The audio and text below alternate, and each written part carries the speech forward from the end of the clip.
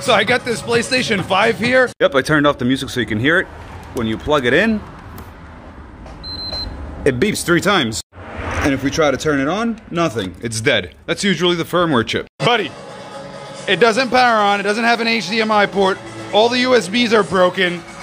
What are we gonna do here? We have to let the customer know, and the customer agreed to get it fixed. So let's take this thing apart. And it's gonna need a good cleaning. Look at that. That's cake right there. The inside is not as bad as I thought. All right, I got the motherboard out here, so let's first start by removing all these broken ports here. Remove the HDMI port, and as the area is still hot, let's put on the new port. All right, and we got this port on here looking good. Move on to the USB ports. All right, we remove those two USB ports. Let's go test it. I like to test midway anyways. I know it's not gonna work, but still. We did do a lot of work to this, so let's see what happens when we plug it in. I turned off the music, let's do it. Up, oh, it's still bad.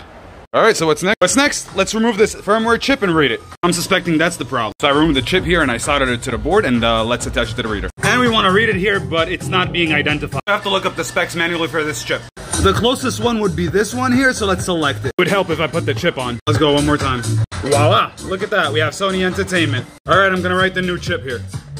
Okay, I'm having problems uh, writing to chip. I am gonna get a different one. So I went online and I looked for a replacement. I'm gonna buy this one right here. And I think it's the uh, package code SS. Okay, so I got the package in the mail right now. Perfect, we got it. I got slightly the wrong package here, but it should work. We should uh, get the SN. Right, so the brand new chip got identified here. All right, let's start. All right, it's programming. And I verified the chip here and I read it and I see Sony Entertainment. Let's put it on the motherboard. Well, that's a little bit too big, so I'm gonna retrofit it. Yeah, that's not bad. Let's solder it. All right, we got the chip installed here. Let's go test it. All right, let's test. Oh, it didn't make the three beeps. Okay, let's try to power it on.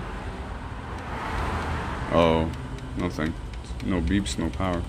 So I ordered the right chips here, I got them. And I'm writing it here to the chip. The chip is on, let's go test. All right, I plugged it up here, it didn't make the three beeps. Let's see if it powers on. Yes, it powers on.